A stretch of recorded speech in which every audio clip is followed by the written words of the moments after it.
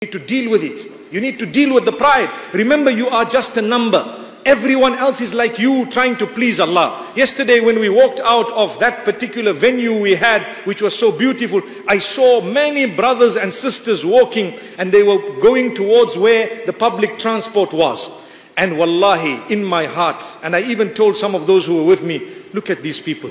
They all want to please Allah. Everyone wants to please Allah. If you don't feel the love in your heart for one another, you are sick. You are sick. Wallahi, you need help. If you think you are the only Muslim on earth, you are the only one, you are sick.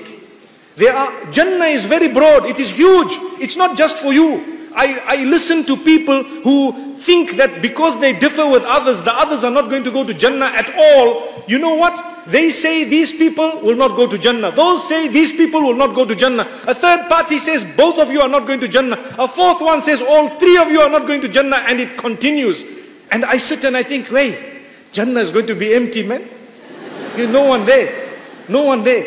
If Jannah was according to you and your mercy, truly it would be empty. But it is not yours, it belongs to Allah. And you know who is Allah? The most merciful, the most forgiving.